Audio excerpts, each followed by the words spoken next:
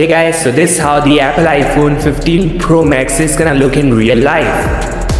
Yeah, you might have seen CAD images of the iPhone 15 and 15 Pro, but these are the first ever schematics of the most expensive iPhone 15 Pro Max coming in from Shrimp Apple Pro. So it has got around 6.8 inch display size, no toolless chin or top or side bezel. The build hole dynamic island can be seen, but with that massive display, you still will have lot of space to watch content.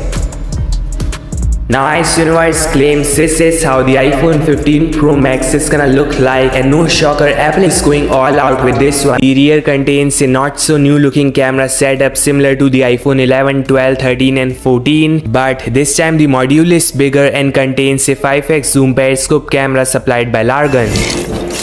Apple is working on a red maroon color finish for the Pro variant with the icing of solid and tough titanium finish all around. The highlight of this device will be USB-C port and the all-new action button which may have similar functionality like the Apple Watch Ultra. Ella how we are seeing something cool to play with each single year like last year it was the dynamic island and this year it is gonna be the action switch.